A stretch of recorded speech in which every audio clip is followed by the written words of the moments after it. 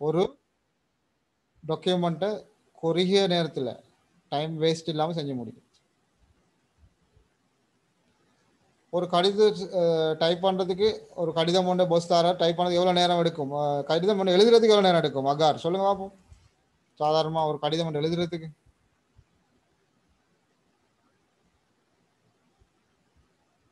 ஒரு ஆக்கம் சொல்லுங்க எத்தனை நிமிஷம் உங்களுக்கு போகுண்டு ஒரு ஏ ஃபோவில் ஒரு கடிதம்னு எழுதுறதுக்கு பேனையால் எழுதுறதுக்கு எவ்வளோ நேரம் சாதாரணமாக அடிப்பீங்க டக்குன்னு எழுதி சொல்லுங்க. ஒரு ஆக்கம் போடுங்க.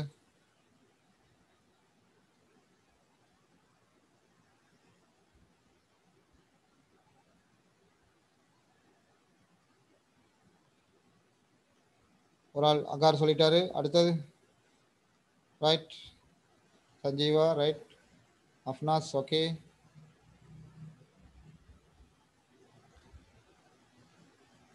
Sima okay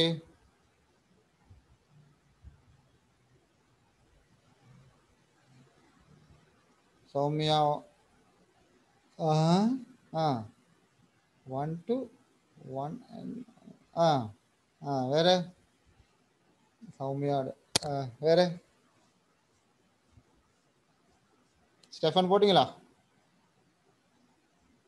ஸ்டெஃபன் போடல.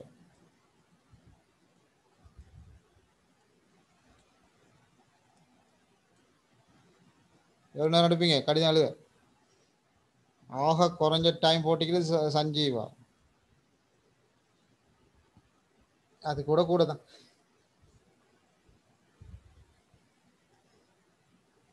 ரைட் கடிதம் எழுதுறதுக்கு தான் கேட்டேன் சௌமியா. கடிதம் எழுத போட்டீங்க கம்ப்யூட்டரில் டைப் பண்ணுறதுக்கு போட்டிங்களா?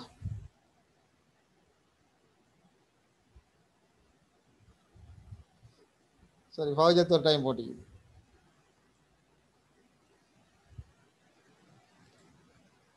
ஸ்டெஃபன் போட இல்லை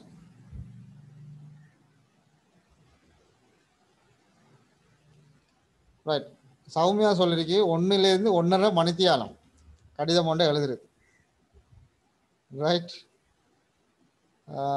அகார் போட்டிக்கிறாரு ரிஸ்னா போட்டி முப்பது நிமிஷம் அரை மணித்தியாலம். சிமா அஃப்னாஸ் போட்டிங்கன்னா பத்து பதினஞ்சு நிமிஷம். கடிதம் எழுது பகுஜத்தும் சஞ்சீவம் போட்டிங்கன்னா பத்து நிமிஷம். ரைட் கடிதம் எழுத பத்து நிமிஷம் ஏற்றுக்கொள்ளப்படக்கூடியது. பத்து நிமிஷத்தில் கடிதம் எழுதும்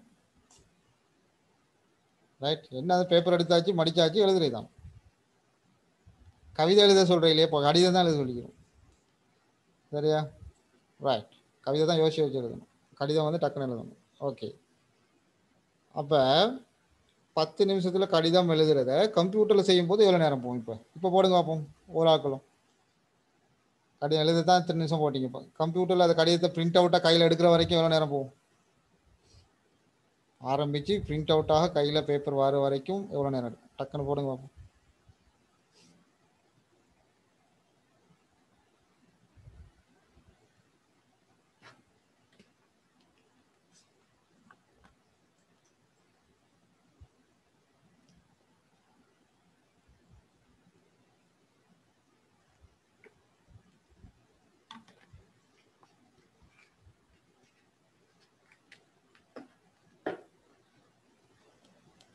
ரெண்டு பேர் பதில் போடியாங்க போடு டக்குன்னு டக் டக் டக்குன்னு போடு.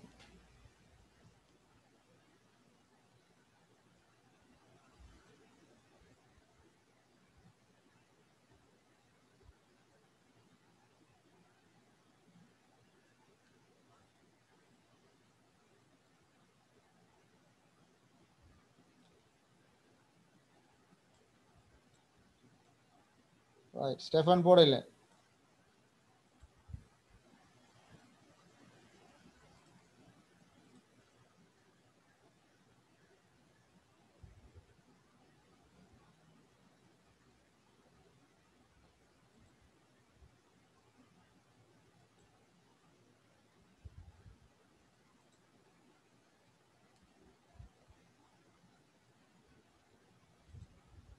Right.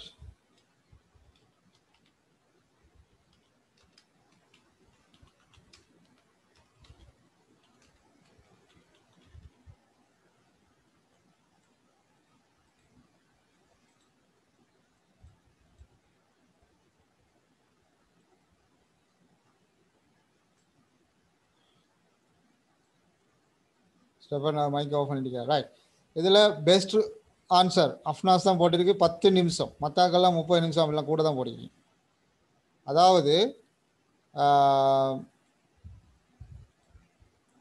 கடிதம் எழுதும்போது குறைவான டைம்னு சொல்கிறீங்க கம்ப்யூட்டரில் பிரிண்ட் அவுட் எடுக்கிறதுக்கு லேட்டாக கூடின டைம்னு சொல்கிறீங்க ரைட் அது சரியா? அஃப்னாஸ் மட்டும்தான். எழுதுறதுக்கு கூட டைம் போகும். பிரிண்ட் எடுக்கிறதுக்கு குறவா டைம் போகும்னு எழுது. அதாவது கம்ப்யூட்டர் வந்த பிறகு டைம் வேகம் கூடணுமா குறையணுமா? நேரம் மிச்சப்படணுமா? அல்லது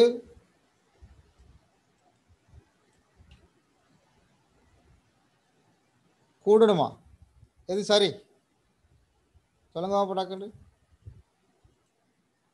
உங்களோட பஸ் செய்கிறாரு பஸ்ஸுக்கு கம்ப்யூட்டர் பற்றி நிறைய தெரியாது. அவருக்கு நார்மலாக தான் ஆஃபீஸில் ரன் ஆகிட்டு இருந்துச்சு.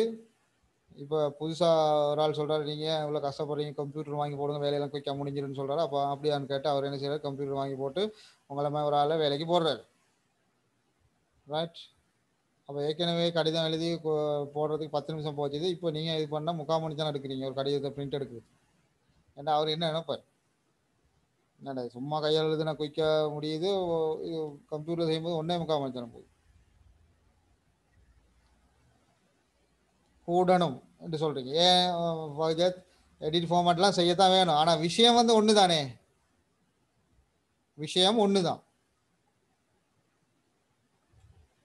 ரைட் விஷயம் வந்து ஒன்று தான் அதாவது ஒரு பேங்க்குக்கு போகிறீங்க பேங்க்கு போயிட்டு ஏதாவது ஒரு தேவைக்காக ஒரு விஷயத்த பேங்க்கில் சொல்கிறீங்க இப்படி செய்யணும். அவன் சொல்ல ஓகே செய்யலாம். ஒரு கடிதம் எழுதித்தாங்க நான் அதை இது பண்ணுறோம் அப்படின்னு சொல்கிறோம் ரைட் அதாவது என்னோட நான் தந்திக்கிற ஃபோன் நம்பரை மாற்றணும் பேங்க்கு அந்த கார்டுக்கு வந்து நம்பர் ஒன்று மெசேஜ் வரும் தானே அந்த ஃபோன் நம்பர் ஒன்று கொடுத்துப்பேன் தானே. டெபிட் கார்டில் காசு எடுத்தாலோ கொடுத்தாலோ மெசேஜ் வரும் ஃபோனுக்கு அதுக்கு நம்பர் ஒன்று கொடுத்து வச்சுப்போம். இப்போ அந்த ஃபோனை நாங்கள் தொலைஞ்சிட்டு ஏதோ அந்த சிம்மை பாவிக்கிறீங்கள இப்போ வேறு சிம் தான் பாவிக்க போகிறோம் அதனால நாங்கள் சொல்கிறோம் பேங்க்கில் போயிட்டு இந்த பழைய நம்பரை மாற்றிட்டு இந்த நம்பரை போடுங்க அப்படின்னு சொல்கிறோம் அப்போ அவங்க சொன்னால் ஓகே நீங்கள் கடிதம் எழுதித்தாங்க நாங்கள் உங்களுக்கு போட்டு தரோம் அப்படின்னு சொல்கிறோம் அப்போ கடிதம் எழுத நீங்கள் கையால் அங்கனைகள் எழுதி கொடுத்தாலும் அஞ்சு நிமிஷத்தில் உங்களோட ஹேண்ட் ரைட்டிங் வடிவா இல்லாட்டியும் எழுதி கொடுத்தாலும் கடிதம் மாதிரி இருந்ததாகவும் உறுப்பாமைய அவங்க என்ன செஞ்சிருவாங்க? உடனே வேலை நடந்துடும். அதே மாதிரி அப்படி எழுதி கொடுக்காம நீங்கள் போயிட்டு ஜேபியில் இருநூத்தம்பது ரூபா காசை கொடுத்து அழகாக கடிதத்தை டைப் பண்ணி எடுத்து பிரிண்ட் அவுட் எடுத்து கொண்டு வந்து கொடுத்தாலும் அதே வேலை தான் நடக்கும். இப்போ எங்களுக்கு வேலை நடக்கணும் குயிக்காக நடக்கணும் அப்போ உரிய நேரத்துக்கு நடக்கும். அப்போ நீங்கள் ஃபார்மட் செய்கிறீங்க அது செய்கிறீங்க இது செய்கிறீங்கன்னு காரணம் காட்டி லேட் ஆக்க இயலாது. ரைட் இதுதான் நிறைய பேர் விட்ற மிஸ்டேக் கம்ப்யூட்டரில் செய்ய போகிறோன்னு சொல்லி வேலையை சுணக்கிறது. ரைட் வேலைக்குரிய டைம் வந்து ஏற்கனவே மெனுவலாக செய்கிறத விட கூட இல்லாது குறைஞ்ச பரவாயில்லை. இப்போ உதாரணத்துக்கு பேனையால் எழுதினாலும் பத்து நிமிஷம் தான் போகுது. பிரிண்ட் அவுட் எடுத்தாலும் பத்து நிமிஷம் தான் போகுதுன்னா கம்ப்யூட்டரில் செய்கிறது தான் லாபம் ஏன்னு சொல்லுங்க பார்ப்போம் கம்ப்யூட்டரில் வடிவா செய்யலுமே. அதே டைம் தான் போகுது வடிவா செய்ய அதுக்கு தான் கம்ப்யூட்டர் வாங்கணும். ஆனால் கம்ப்யூட்டர் செய்யும் போது வடிவாக தான் வருவதான டைம் எடுக்குதுன்னா அதில் வேலை இல்லை. அதில் வேலை இல்லை. ரைட் அது வந்து சரியான மெத்தட் இல்லை.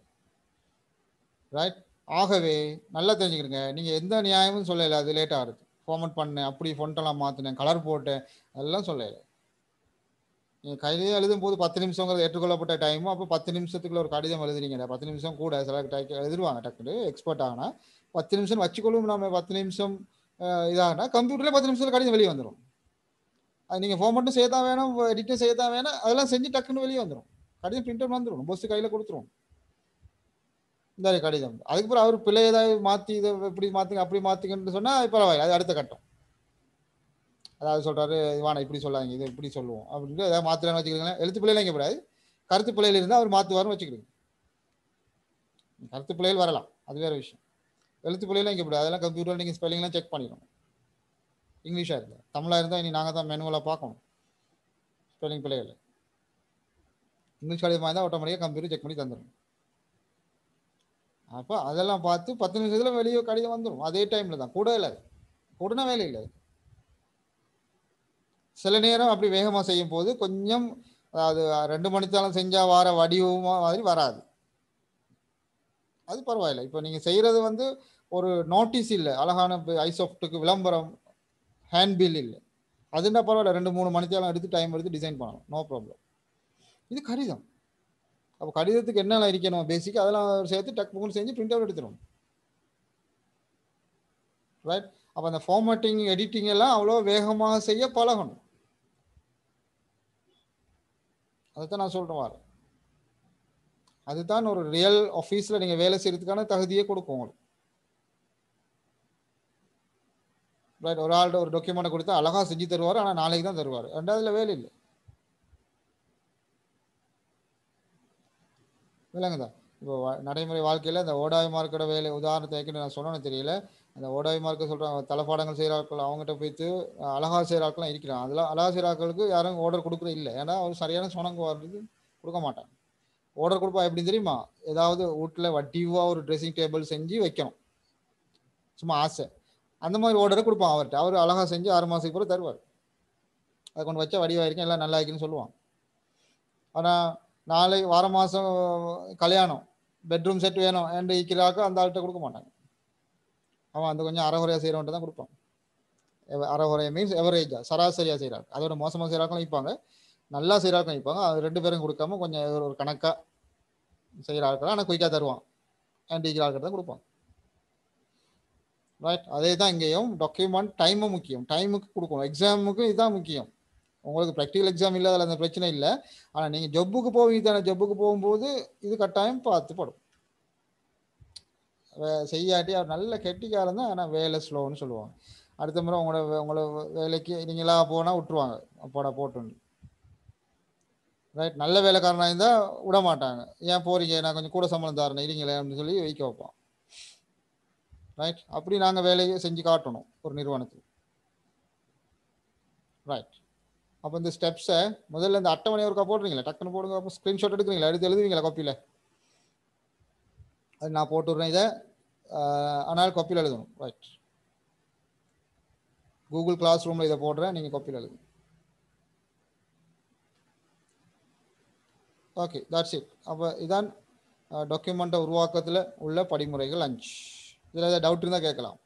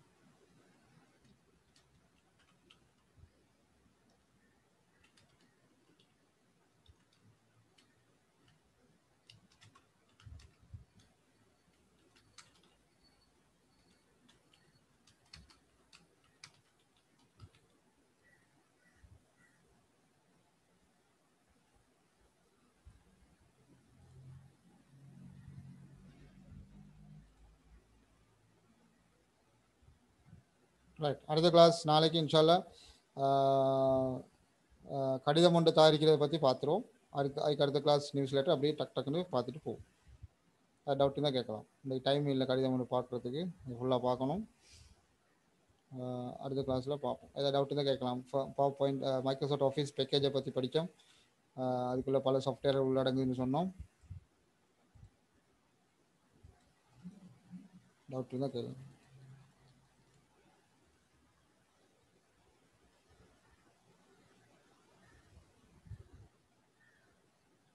சும்மா ஏன் லேட் ஆச்சு.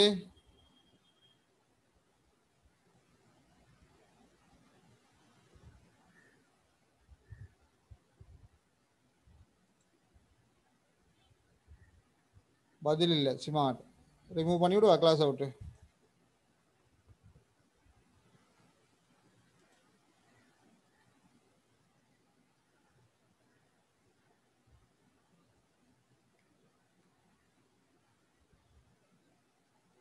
சும்மா ஐ சாஃப்ட்டு காசை கட்டிட்டு படிக்காமல் வைக்கிறீங்க அவ்வளோதான் சொல்லு சல்லியை வேஸ்ட் பண்ணுறீங்க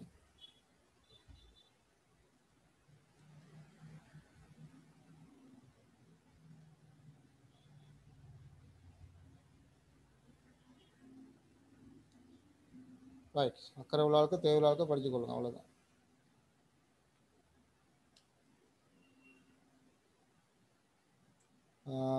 மற்றது MS word MS word practical இப்போ வரப்போது தானே இப்போ கடிதம் ஒன்று உருவாக்கணும் அதை ப்ராக்டிக்கல் செஞ்சு பார்க்கணும். கம்ப்யூட்டர் உள்ளாக்க மட்டும் கை ஒருத்தங்க டக்குன்னு ரைஸ் யூர் ஹேண்ட்ஸ் வீட்டில் கம்ப்யூட்டர் இருக்கிறார்கள் செஞ்சு பார்க்க ப்ராக்டிக்கல் செஞ்சு பார்க்க. ஒன் கீழே ரியாக்ஷன் இருக்கு அதில் போயிட்டு கையை உயர்த்துங்க வீட்டில் கம்ப்யூட்டர் உள்ள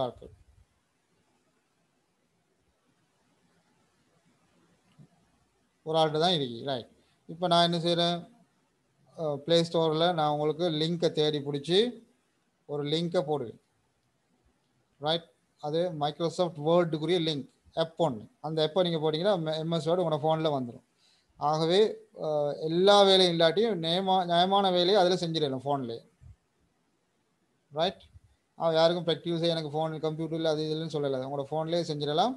லிங்கை போடுவேன். அதை எடுத்து டவுன்லோட் பண்ணி இன்ஸ்டால் பண்ணுங்கள் ஃபோனில் மெமரி போதாட்டி தேவையில்லாத இப்போதைக்கு தேவையில்லாத சாஃப்ட்வேரில் அன்இன்ஸ்டால் பண்ணிவிட்டு எப்போல்லாம் வேர்டை போட்டு ப்ராக்டிஸ் பண்ணுங்கள் வேர்ட் முடிஞ்சோடனே அதை அன்இன்ஸ்டால் பண்ணிவிட்டு நாங்கள் அடுத்த சாஃப்ட்வேரை போட்டுக்கலாம். இப்படி மாறி மாறி எதாவது போட்டுக்கலாம். ரைட் ஓகே வேர்ட் முடிஞ்சோடனே வேர்ட் அழிச்சு போட்டு எக்ஸலை போட்டு எக்ஸல் ப்ராக்டிஸ் செய்யலாம். அப்படி இப்படி போகலாம். அதனால் நீங்கள் அந்த சாஃப்ட்வேரை போட்டுக்கொள்ளும். ரைட் அப்போ ஃபோன்லேயே அந்த வேலையை செய்யலாம். அப்படி நிறைய கோர்ஸ்கள் செஞ்சு பட்டுது வீட்டில் கம்ப்யூட்டர் இல்லாத ஆட்கள் ஃபோன் ஃபோனில் இதை போட்டு ப்ராக்டிக்கலாக முடிச்சிட்டாங்க. சரிதானே? இப்போ வெளியே போக இயலாது ஐசப் சுரக்க இயலாது பிரச்சனை இருக்குது அதனால் நாங்கள் இப்படியா சரி படிச்சுக்குவோம். ரைட் குரூப்பில் நான் லிங்க்கை போடுறேன். எம்எஸ் வேர்ட் லிங்க்கை அதை இன்ஸ்டால் பண்ணி நீங்கள் ப்ராக்டிக்கலாக செய்யணும் சரிதானே டவுட் இருந்தால் கேளுங்க. வேறு ஏதாவது டவுட் இருந்தால் கேளுங்க. டைம் இருக்குதா இன்னும் ஒரு பதினஞ்சு நிமிஷம் இருக்குது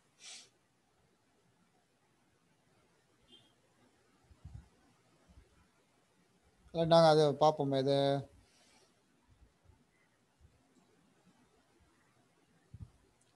கடிதம் ஒன்றை உருவாக்குறதுல அந்த ஸ்டெப் இதில் பார்ப்போம். ரைட் டைம் இருக்கு வேஸ்ட் பண்ணாமல் பண்ணாமல்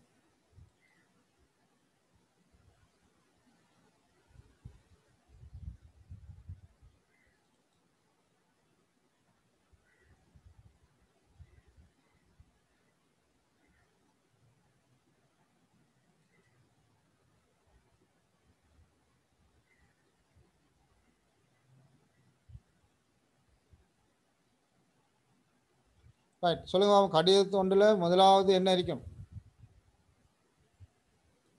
ஒரு கடிதம் எழுதும் போது முதல்ல என்ன எழுதும்? அன்புள்ள அப்படி எழுதுறதா என்ன எழுதுறது முதல்ல? ஸ்கூல் லீவ் லெட்டர் கொடுக்குறதா நீங்க? லீவ் லெட்டரில் என்ன கொடுக்குறது?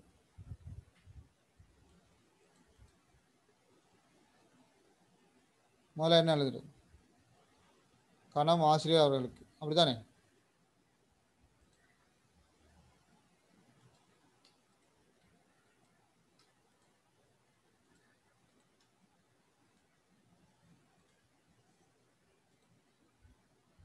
பதில் சொல்லுங்க. முதல்ல என்ன வரணும் கடிதத்துக்கு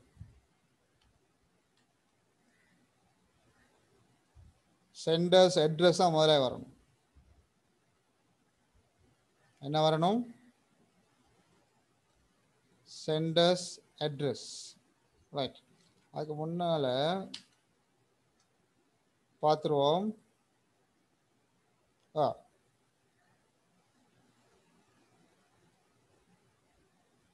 சிம்மா அவங்களோட பதில் பிள்ளை மெசேஜ் பார்க்க லேட் ஆகிருக்கிறது பதில் பிள்ளை ஒவ்வொரு நாளும் ஒவ்வொரு சனி ஞாயிறு ஒன்பது மணிக்கு கிளாஸ் இருக்குன்னு எல்லாருக்கும் தெரியும்.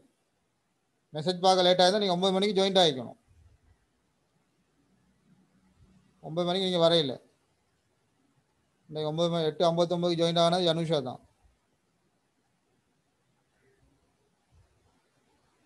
ரைட் நான் இன்றைக்கு மட்டும் பத்து நிமிஷம் லேட்டாகி ஸ்டார்ட் பண்ணோன்னு மெசேஜ் போட்டேன். நீங்கள் மெசேஜ் பார்க்க இல்லாட்டி ஒன்பது மணிக்கு ஜாயின்ட் ஆகிக்கணுமே ஒன்பதரைக்கு வந்துட்டு காக்கா சொல்கிறீங்க மெசேஜ் பார்க்கலன்ட்டு. ஓ நாள் சனி ஞாயிறு ஒம்பது மணிலேருந்து கிளாஸ் இருக்குன்னு எல்லாருக்கும் தெரியும் தானே? ரைட் இங்கே பாருங்க. கடிதம் ரெண்டு வகைப்படும். என்ன கடிதங்கள்? Formal letter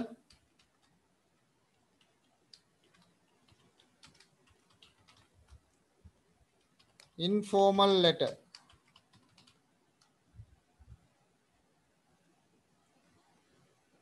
right இதுதான் நாங்கள் சொல்லுவோம் பிஸ்னஸ் லெட்டர் அல்லது ஒஃபிஷியல் லெட்டர் உத்தியோகபூர்வமான கடிதம். இது நாங்கள் சொல்லுவோம். பர்சனல் லெட்டர்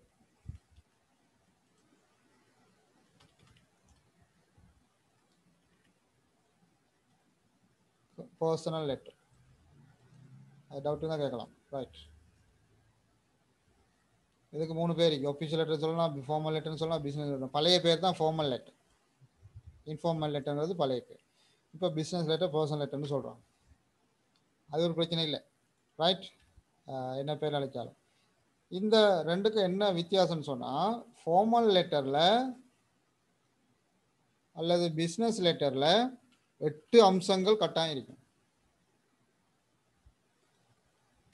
பர்சனல் லெட்டரில் அந்த எட்டில் ஆறு இருந்தால் போதும். விளங்கிட்டாப்ப. இந்த எட்டில் தான் ஆறு ரெண்டு இல்லை. அவ நாங்கள் ஃபார்மல் லெட்டர் எப்படி படிக்கிற செய்கிறேன்னு படிச்சிட்டோமாக்கும் பர்சனல் லெட்டர் செய்கிறது சின்ன வேலை. அது கஷ்டம் இல்லை. அப்போ இது தனியாக படிக்க வேண்டிய அவசியம் இல்லை. பிஸ்னஸ் லெட்டர் படித்தா போதும். அதாங்க படிக்கணும் அப்போ ஒன்று ரெண்டு மூணு நாலு அஞ்சு ஆறு ஏழு எட்டு விஷயம் இதில் சொல்லப்பட்டு. முதலாவது அட்ரஸ் கட்டாயம். அட்ரஸ் அதில் வந்து ஆளோட பேர் போடுறீங்க இப்போ நீங்கள் தான் எழுதுறீங்கன்னா உங்களோட பேரை போடுறீங்க உங்களோட அட்ரஸை மட்டும் தான் இதில் போடணும். உங்களோட பேரை போடக்கூடாது. ரைட் நீங்கள் ஒரு ஆஃபீஸில் இருந்து எழுதுனீங்கன்னா ஆஃபீஸோட பேர் அட்ரஸ் தான் வைக்கணும். ஆளோட பேர் வைக்கக்கூடாது ரைட் ஒரு ஸ்கூலாக இருந்தால் ஸ்கூல் இல்லை நீங்கள் தனிப்பட்ட முறையில் உங்களோட அட்ரஸை மட்டும் போட்டால் போதும். ரைட் அடுத்தது இன்றைய திகதி ஒரு வரி விட்டு இன்றைய திகதி. அப்புறம் மூணாவது.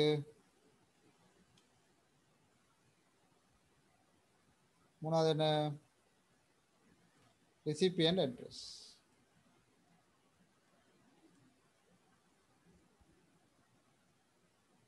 அப்போ அங்கே பதவி அட்ரஸ்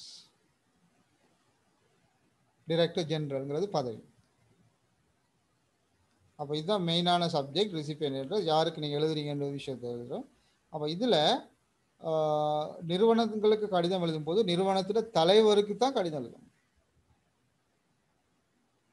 நிறுவனத்தில் தலைவருக்கு தான் கடிதம் எழுதணும்.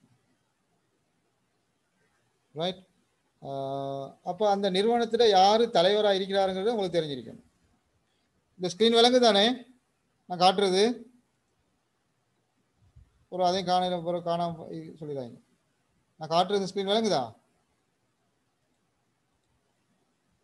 ஆ ரைட் அஃப்னாஸ் ஓகே அப்போ நிறுவனத்தில் தலைவர். அப்போ ஒவ்வொரு நிறுவனத்தில் யார் யார் தலைவர் ஆகிக்கிறான்னு எங்களுக்கு தெரிஞ்சிருக்கணும். ஸ்கூலுக்கு யார்? தலைவர். ஹெட் ஆஃப் த டிபார்ட்மெண்ட்ஸ் யார் ஸ்கூலுக்கு தலைவர்? சொல்லுங்க டக்குன்னு. தலைமை அதிகாரி யார் ஸ்கூலில்? எல்லாருக்கும் தெரிஞ்சது. பிரின்சிபல்.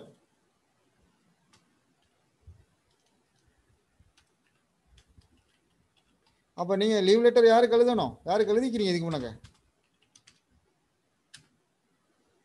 கணம் ஆசிரியர் அவர்களுக்கு தான் எழுதி எழுதிக்கிறீங்க. ரைட் எழுதணும் உண்மையிலேயே பிரின்சிபலுக்கு தான் கடிதம்.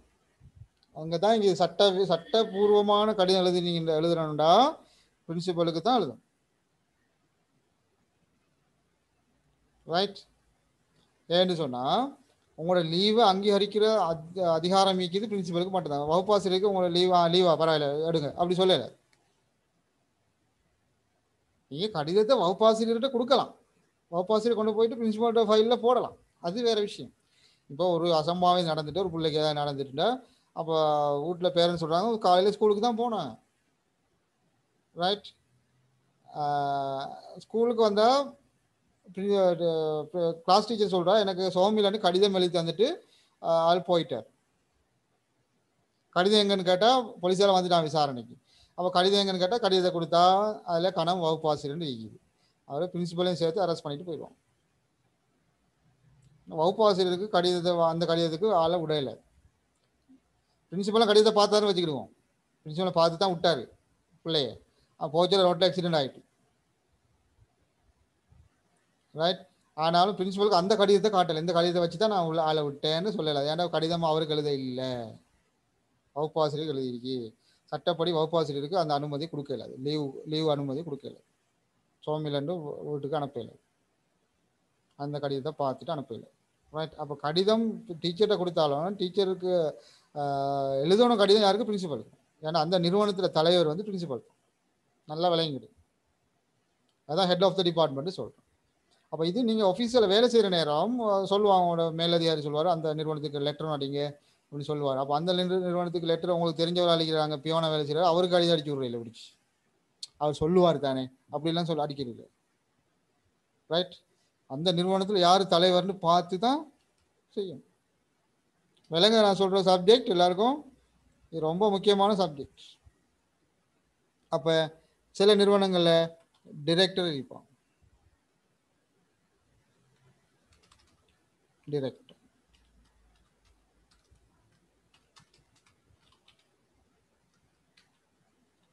டிபார்ட்மெண்ட்ஸ் ரைட்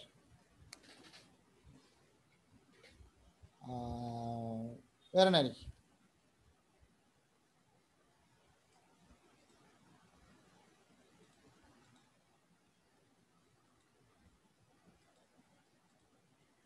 பள்ளிக்கு தலைவர் யாரு? ட்ரஸ்டி. ட்ரஸ்டி போர்டில் தலைவர் யாரு? என்ன எழுதுறீங்க டக்குன்னு சொல்லுங்க. ட்ரஸ்டி போர்டு ஒன்று இருந்தால் ஒரு பள்ளி பள்ளி ஒன்று இருந்தால் அதில் நம்பிக்கையாளர் சபை ஒன்று பிரசிடென்ட் இருப்பார் பிரசிடென்ட் பள்ளி தலைவர் மாற்றி போட்டானா? ரைட் பிரசிடென்ட் எதுக்கெல்லாம் இருப்பார்? மொஸ்கில் இருப்பார். சபைகள் இருப்பார். அசோசியேஷனில் இருப்பார். ஓல்ட் பாய்ஸ் அசோசியேஷன் ஏன்னா அதுக்கு பிரசிடென்ட் செக்ரட்டரி இருப்பான் பழைய மாணவர் சங்கம் ரைட் ஓகே அப்படி கமிஷன்ஸ் ஆணைக்குழுக்கள் இருக்கும் அதில் கமிஷனர்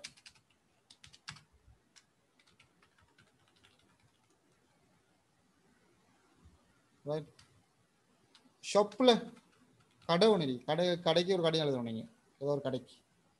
ஏதோ ப்ரைஸ் லிஸ்ட் கேட்டோ என்னமோ எழுதுறீங்க. என்ன யாருக்கு எழுதணும்? டக்குன்னு பதில் சொல்லுங்கள் டக்குன்னு டைம் இல்லை. அடுத்த கிளாஸும் செய்யணும். டக்குன்னு சொல்லுங்கள் ஷாப்புக்கு இந்த கடையில் எழுதுனா யாருக்கு எழுதணும்?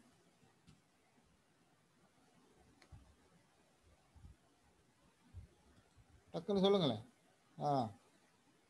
ஓனருக்கு ஓனருக்கு தான் எழுதணும். ஆனால் ஓனர்னு போட்டு எழுதுறீங்க. யாரு? ப்ரொப்ரைட்டர் உரிமையாளர். ப்ரொப்ரைட்டருங்கிற வேர்ட் பாவிக்குது ப்ரொப்ரைட்டர் த ப்ரொப்ரைட்டர் எப்படியே பாவிக்குது ரைட் யூசிக்கு சேர்மன் கவுன்சில்ஸ் அது மாநகர சபையாக இருக்கலாம். ஏழை அர்பான் கவுன்சில் தான் சேர்மன் அர்பான் கவுன்சில்கிட்ட போட்டுருவோம். சேர்மன் இருப்பார் சில நேரம் ஓல்ட் பாய்ஸ் அசோசியேஷனுக்கும் ஒரு சேர்மன் இருப்பார் பிரசிடென்ட் இருப்பார் சேர்மன் இருப்பார்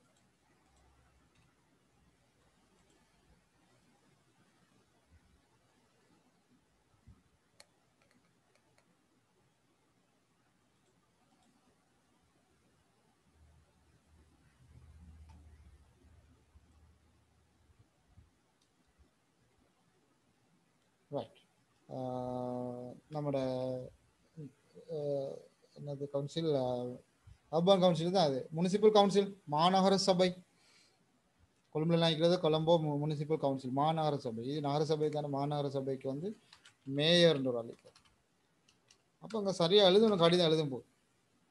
அதான் அங்கே சொல்ல வர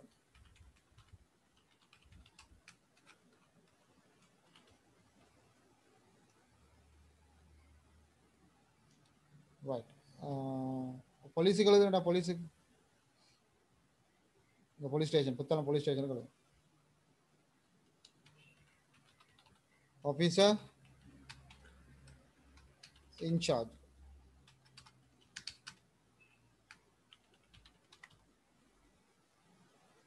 இன்னும் நிறைய ஆஃபீஸரில் ஆஃபீஸர் இன்சார்ஜ் இருப்பாங்க. போலீஸ்லேயும் இது இருப்பாங்க. அங்கே டிரெக்டர் மேனேஜர்லாம் இல்லை. ரைட் மேனேஜர் எங்கே இருப்பார்? பேங்க்கில் கோஆப்ரேட்டிவ்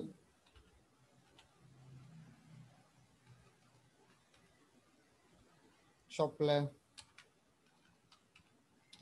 மேனேஜர் இருப்பாங்க ரைட் ஹோட்டலில் இருக்கலாம் சொல்லணும். ஹோட்டல் மேனேஜர் மேனேஜர் இருக்கலாம். ரைட் அப்படி. Uh, ஓகே ஒரு நிமிஷத்தில் கட் ஆகும். யூனிவர்சிட்டியாக இருந்தால் வைஸ் சான்சலர்